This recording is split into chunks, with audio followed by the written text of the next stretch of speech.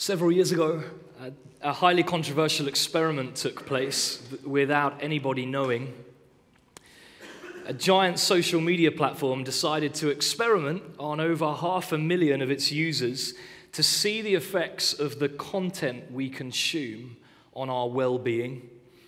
They did this by showing half of them exclusively positive content, and then the other, less fortunate half, exclusively negative content and the results were conclusive.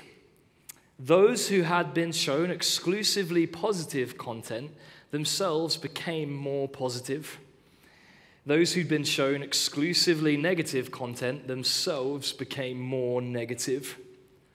It's a pretty unethical study, uh, but it empirically proved an important point. We become like the content we consume.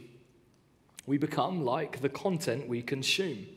Just like a physical diet, where what we put into our body is the physical health that we get out, well, evidently, the content we put into our minds is the spiritual and mental health that we get out.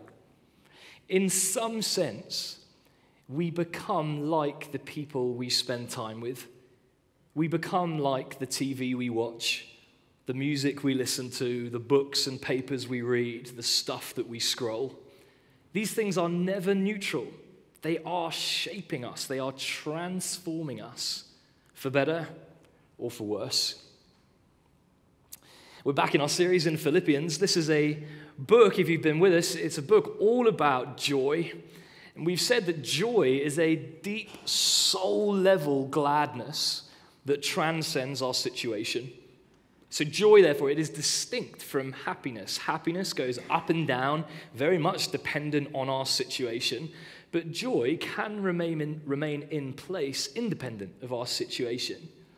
For example, Paul wrote this letter uh, on joy in jail. It's a bad situation, and yet full of joy. What was his secret? Well, this book reasons that true joy is found in knowing and following Jesus that any suffering we might be facing can be consumed by the greater realities of what Jesus gives us in the gospel, namely peace with God, a global church family, eternal hope, and others. You see, joy, happiness can be found here, but joy can't be found in health, in wealth, or in anything else that can be taken from us. Joy can only be found, true joy can only be found in Jesus, who can never be taken from us. C.S. Lewis said that joy, therefore, is one of the most desirable things in the universe. Who here would want to be more joyful? Everyone. Everyone. And so we're, we're right near the end of this book now, and Paul is now into giving sort of concrete, practical advice on how we take hold, how we find joy and how we keep hold of it in Jesus. And he starts chapter 4, if you want to take a look again, just at the start of chapter 4, he starts by saying, Therefore, my brothers and sisters, you whom I love and long for, my joy and crown, stand firm in the Lord in this way, dear friends. And then, if you've been with us, he, he spoke about keeping our relationships healthy in the local church. He then spoke about taking our anxieties to God in prayer. That was last time. Today, just two verses in verse 8 and 9, he's going to help us very practically by telling us to keep check of the content we consume. Have a look at me again at verses 8 and 9. Finally, brothers and sisters, whatever is true, whatever is noble, whatever is right, whatever is pure, whatever is lovely, whatever is admirable, if anything is excellent or praiseworthy, think about such things. Whatever you have learned or received or heard from me or seen in me, put it into practice, and the God of peace will be with you.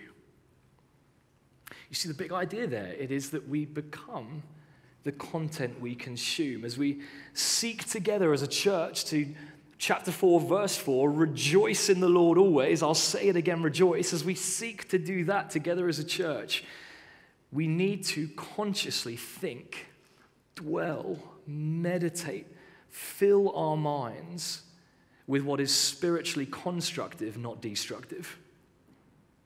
Let's just look at those two things of spiritually constructive, spiritually destructive. Firstly, don't expect joy whilst consuming junk. Don't expect joy whilst consuming junk. You see, if what Paul says here is true, that joy and peace come our way when we focus on, verse 8, look at the list again, what's true. That's truth in an objective sense. Not just what's true for you, but true, true. What is noble, meaning worthy of respect. What's right, that is a, that's a legal word, meaning legally right. What's pure, that's a moral word, meaning morally right. What's lovely, it's a bit of a naff word in the English language, isn't it? That really just means related, things relating to love, things done out of love. And then what's admirable, excellent, and praiseworthy. These are all action words, the actions that we want to encourage in ourselves and in our society. If joy comes our ways when we focus and dwell on those things, well, then the opposite is presumably true. That when we dwell on things that are contrary to truth, provoking hatred, damaging to society, that joy will evade us because we become like the content we consume. I imagine many of us here today, many of us love Jesus. We want joy, but we have a junk food diet. We love Jesus. We want joy, but we have a junk food diet. Think about this.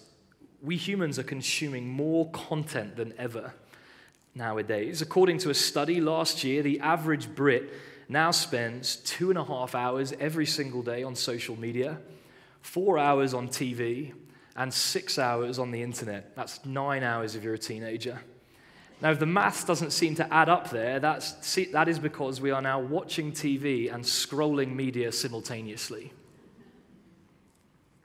Most of this content is junk food for our brains. Why is social media free to use? They make billions. Why is it free to use? It's because we're the product. Social media, they are, it's quite openly addicting you so that it can advertise to you. That's how it makes money. And so, naturally, by design, it is filled with hyper addictive content like soft porn, clickbait, angry comments, fake news. Lies famously travel six times faster on the internet than truth. So, social media is very happy to push this kind of content on us. It's junk food, it's cheap, tasty, bad for our heart. Two and a half hours a day on social media is probably the equivalent of two and a half hours of eating chicken nuggets every day for your brain. Uh, if your social media of choice is TikTok, it's like two and a half hours of drinking Red Bull. It is not, not going to be doing you any favors. I've never seen someone that's tried to drink Red Bull for two and a half hours, but I imagine that's bad. Um, now, look, many of you might think, oh, fine, I'm not on social media. Many of you might go for something a bit more cultured and truthful with uh, daily news on TV and radio. And look, I just wanted to say that whilst the news might tell you the truth, it rarely focuses on other things in this list what is noble, what is right, pure, and praiseworthy. Rather, again, the news is incentivized to give us bad news because it attracts more ears and eyes. As the famous line goes uh, if it bleeds, it leads. I spoke to a journalist who said that they are actually trained to find bad news stories, even inside good news stories, because they'll get more attention. For example, if life expectancy decreases, people are dying younger, but if life expectancy increases, it's a strain on society. If, an unpre- if there's an unpreventable uh, disease, it harms people. If there's a preventable disease, good news, but it shows that there's disproportionate access to treatment in society. High birth rate, that causes overcrowding. Low birth rate, that's going to cause school closures. You see, uh, this is how the news works. If it bleeds, it leads. It's incentivized to give us bad news. And let me underline there is nothing wrong with watching the news every day, uh, reading the newspapers, but recognize it almost always reports on the fallenness of the world. It brings tragedy from every corner of the world to my sofa. It gives me a constant barrage of disagreements and disasters that I can do nothing about. As I said before, it is a program that starts with the words good evening and then continues to tell you exactly why it isn't. Um, the Oxford English Dictionary word of the year in 2020 was doom scrolling. Any of you heard that? It's this, um, it describes a, a behavior that many of us now do, which is a compulsive scrolling for increasingly shocking news stories. It's as if modern people have become addicted to disaster and drama, doom scrolling. All of this, of course, is having a negative impact on our lives. One in five of us are now anxious most or all of the time. This is according to the latest statistics. One in five of us are now taking antidepressant medication. 80% of us believe that we have become more angry. All of these figures are rising. And of course, it's very hard to know all of the complex reasons why that is the case. But I don't think we should expect joy when all we're consuming is junk, when all we are consuming is the fallenness of the world. Joy is elusive because sin is pervasive. We, we consume this stuff, but really it's consuming us. So let me ask you what, what does your search history say about your soul? If I came and looked at your algorithm, could, could you use these words to describe the, the average thing you watch? Could you use these words here in verse 8 to describe the average content that you're consuming in the week? Because, be in no doubt, you become like the content you consume. And you shouldn't expect joy whilst consuming junk. But secondly, expect joy when consuming Jesus. Now, there, there is a reason that I've tried to summarize Paul's list here as Jesus. Uh, this is because he is the context of the letter throughout. He is the preeminent embodiment of all of these virtues and qualities. You see, this isn't an encouragement towards just shallow positive thinking at the end of Paul's letter, as some people might think. As if Paul has spent a whole letter magnifying the glorious and victorious Jesus, talking about the, the absolute necessity of knowing Jesus for salvation and joy, only to conclude his letter by saying, Anyway, always look on the bright side of life. Um, this is not shallow, positive thinking. Just th- life sucks, but hey, think about puppies and good hair days. It's not shallow positive thinking.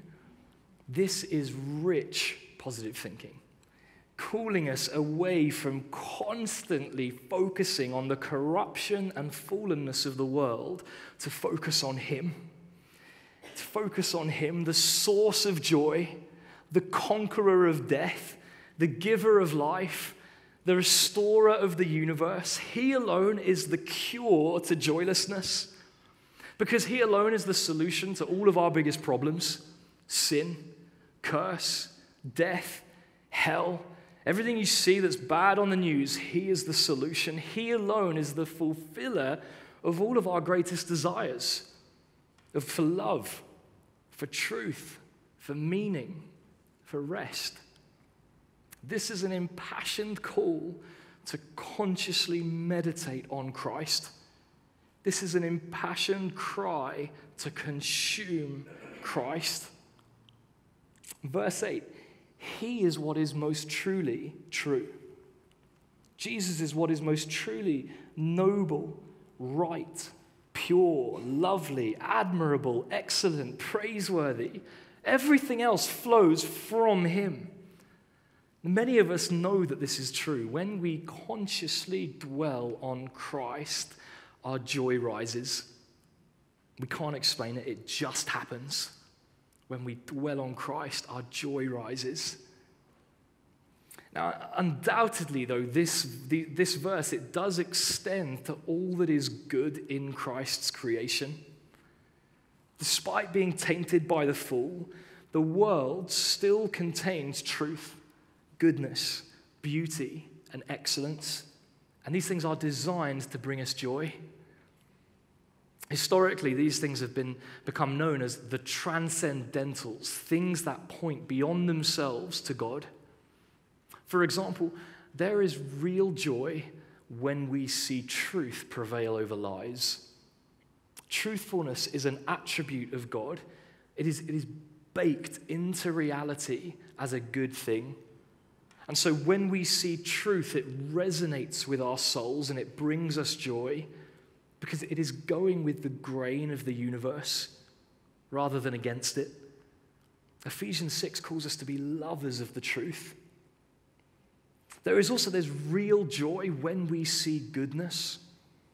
Goodness is also an attribute of God. When we see leaders behaving nobly, virtuously, standing by ethical principles, that is a good thing. That brings us joy. When we see selfless acts of love, brave heroes, loyal fathers, devoted mothers, that brings us joy because goodness, it is a transcendental quality that points us to God. There's, there's real joy when we see beauty. The stars at night make us say, wow. Great music moves us. Great storytelling, it captivates us. When I traveled to America, I was able to see the incredible landscapes in Yellowstone National Park. It moved my soul. It was doing something to me. Because Psalm 19 tells us the heavens declare the glory of God. Creation contains beautiful, praiseworthy, excellent things. These are things that we need to meditate on. By way of a little case study, you, you might remember if you were with us earlier in chapter 4, Paul mentioned a fallout between these two women, Euodia and Syntyche. Clearly, the whole church knew about it. Clearly, the whole church was anxious. Verse 6. It must have been really easy to just dwell on the drama and division. Some people may have even delighted in dwelling on the drama and the division and just got sucked into a vortex of joylessness. How do they get out? Well, if you're with us, Paul called for a mediator, he calls for prayer, but here in these verses, Paul also calls to focus on what is truly true and good. Perhaps what Euodia and Syntyche most needed was to lift their eyes from the drama and dwell on the gospel to just hear again that they were precious blood bought sisters in Christ, that they were both forgiven sinners in need of daily grace, part of the same eternal family. To just repeat those truths to themselves, to meditate on those good realities, because we become the content we consume. We become the content we consume. Now let's get to some concrete application here. Verse 8 tells us to think about such things, think about such things. Verse 9 then tells us to put them into practice. It's never enough to simply dwell on truth. We need to go out and leave this room and put it into practice. The Christian who knows uh, good truth and good morality but doesn't do it is a fool. But it, it is so easy to do. I know it's so easy to do. We come to church together, we hear these truths from God, we nod along, and then we do nothing different. We don't repent. We don't ask the Spirit to actually change us. We don't, and then we don't see any more joy. Perhaps we wonder why. It's obvious. If we really want to take hold of this joy that Paul is talking about, and, I, and I, we do, don't we all want this kind of joy that transcends any suffering, any situation we're in, to be joyful? We want this. If we really want to take hold of this joy, let's be doers of the word and not just hearers. How do we put these verses into practice in our modern world? I think our modern world presents very specific challenges when it comes to the content we consume. Three things bin the mega junk control the complex foods, pile on good food. Let's go through those, they'll make sense as we go. Number one, bin the mega junk. What I basically mean by this when it comes to the content we consume is basically this quit porn, delete the social media app that you don't need, stop doom scrolling and zombie scrolling for two and a half hours of your day. Decide today to stop consuming content that is obviously harmful to your soul and that is obviously sinful. Do, do whatever you can to avoid content that is obviously against Paul's list here of what is true, what is pure, what is admirable, what is praiseworthy. John Owen famously said, Be killing sin, or sin will be killing you. Be killing sin, or sin will be killing you. One practical tip that more and more people are doing nowadays to stop themselves consuming obviously bad content is to never use digital devices in private rooms like bathrooms or the bedroom. Just keep them in the lounge or the office. It's an easy, practical fix that I, I guarantee will probably massively reduce the amount of junk content we're consuming. Help yourself out, bin the mega junk. Secondly, control the complex foods. The truth is, most of the media we consume is a complex mix of the image of God and our fallen nature weaved together. It is full of both truth and lies.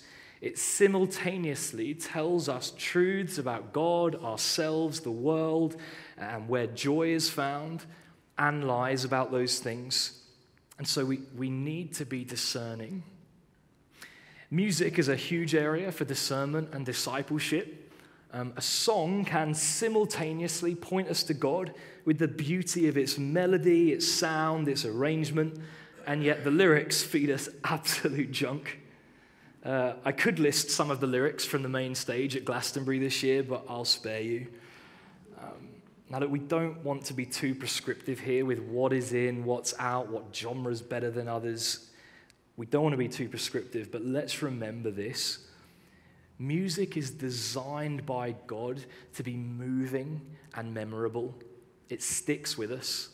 I have not been careful with this in my life, my teenage years, and my mind, probably 90% of my precious brain, uh, is taken up with just nonsense lyrics. I don't think I've been particularly careful with this. Music is designed to move us and be memorable and stick with us. So let's give a little bit of thought about what we fill our minds with, with the music we listen to. I, I don't believe that these verses are saying that we as Christians can't consume pop culture. In many respects, we want to stay actively engaged with culture and even help create it and shape it. Actually, there is always truth, purity, and loveliness in culture because of the image of God. Every movie you've ever watched has truth in it. Every song has goodness weaved in because we can't help but express those things as image bearers of God. We can't help it. But to varying degrees, all media will also have fallenness weaved into it as well. And there will be a line where things basically become too rude, too crude, or too nude. And we need to work out with our conscience and with conversation about what, what is best for us. And just remember, discipleship is never about finding the line and then getting up as close to it as we possibly can. Discipleship is about honestly pursuing Christ in all things. Pursuing Christ in all things. There is loads to talk about here. Um, and I'm hoping that the best time, the best chance for us to do this in an even more concrete way is for you guys to chat over tea and coffee and in home groups this week. Control the complex foods. Thirdly, pile on good food. Pile on good food. The preacher John Piper once said one of the great uses of social media will be to prove on the last day that prayerlessness was not from lack of time it's pretty convicting, isn't it? Just about everyone you speak to today feels like they're busy. How are you doing? Busy. And yet, somehow, the average Brit finds two and a half hours for social media, four hours for television, six hours for the internet. Very busy. Perhaps it's not always about lack of time, but lack of desire. How many minutes are we carving out to read the Bible, to speak to our Heavenly Father in prayer? Good food. It's funny how often God talks about the Bible as food. Jesus says we cannot live on bread alone, we, we need God's word. Peter said we should crave the Bible like babies crave milk. Jeremiah says, I love this verse, Jeremiah 15, he said, I ate your words and they were joy. I ate your words and they were joy. Isn't that a good verse? Jeremiah 15, 16. Think about how much content you consume every day. We need to make sure that we are piling on good food in good amounts, content that will bring us joy. Obviously, that the principal example of that is undoubtedly God's word in the Bible. And know that Satan will do everything he can to distract you from getting to God's word. We are in a spiritual war. Here are just a few ways that we could suit up. You might laugh at some of these. I'm trying to be concrete so it is, is, is concretely helpful. Get a Bible in multiple rooms of the house. Massively reduce your distractions. Recognize that your phone is a weapon of mass distraction. it is hard to do anything uh, let alone extended Bible reading or prayer when a phone is in the room. Especially if you've good timing, especially if you've got, did someone do that on purpose? Especially if you've got your notifications turned on and you've got Angry Birds and Wordle pinging up. It's hard to do anything when your phone is in the room. Massively reduce your distractions. Buy an alarm clock for next to your bed so you don't need to have your phone next to you. Apparently, something like 75% of us, the first thing we do within about 10 seconds of waking up is grab our phone. Get, a, get an alarm clock, keep your phone downstairs. Delete all of the social media apps that you don't need. Set, you can set time limits on your apps now in the settings. I was a, a, encouraged to do this. I've set a 15 minute timer on most of the apps I need, and then it locks me out for the day. It is one of the best things I've ever done. We, we want to master our technology and not be mastered by it. Now, I'm, I'm not a technophobe before it starts to sound like that. I know that technology can be an excellent help to get us to have good content. And so try and get good apps on your phone. Some that I could uh, encourage you to put on as a Christian is the Bible app, of course. The Bible Project have a great app filled with hundreds of short two or three minute videos that give summaries of books of the Bible, big themes in the Bible. That's the Bible Project. Read Scripture is, uh, is another app that helps with daily Bible readings. PrayerMate. Lots of you are on PrayerMate. It's an app that helps you to pray. The Word One to One. It's an app that helps you read the Bible with another person. Step Bible, if you wanted to step it up a notch, Step Bible help gives you the English translation of the Bible, and you can click on the words and see the original language. So if you're doing a Bible study, you can really dive in deep to the, to the words, meditate on a particular word. Of course, podcast. Get a, get a good podcast app on your phone. There's all sorts of good podcasts on all, just about every area of Christian discipleship, retirement, parenting, whatever. Get some good podcast apps we should be trying to start every day by meditating on God's word, by reading something. Just, I know lots of us, vast majority of, oh, I don't know, I don't want to make an, an, an assumption. I imagine a lot of us are already in the habit of reading our Bible most days. If you're not at all, most habit coaches will say that developing a good habit is all about an easy victory Set yourself a very low bar that's almost impossible to miss. Plan to read the Bible for one minute every day. That is your goal. One minute, everyone can do that, and then just build from there. Build from there. If you struggle with reading, you can get God's Word on audiobooks read by David Suchet. Even Johnny Cash did an audiobook reading of the New Testament. Get, get God's word on audiobook. Consume good food. Pile it on. Pile it on. You see, as we come near the end of our studies in joy, at the end of Philippians, as Christians, the truth is we still have to deal with the same amount of sadness and stress, sin and suffering as everybody else. But we do so with certain game changing realities. And we should dwell on these things every day.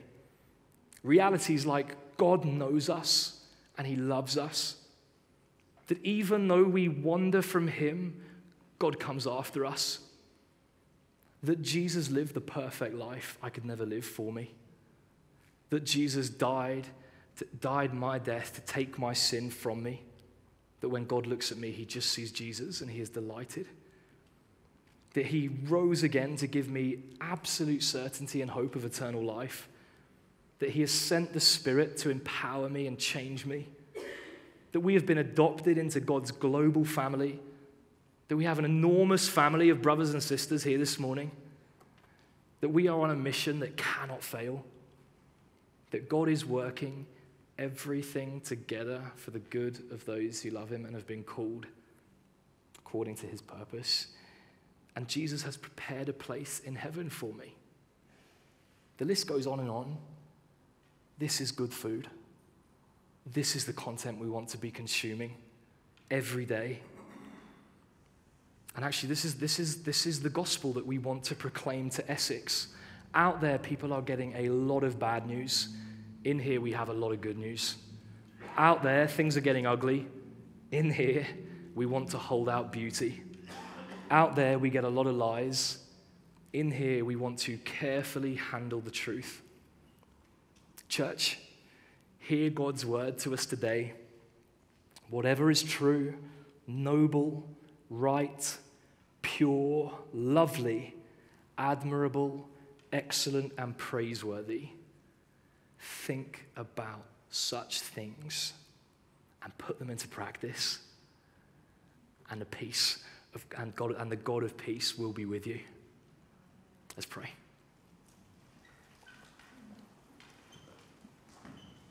Dear God, we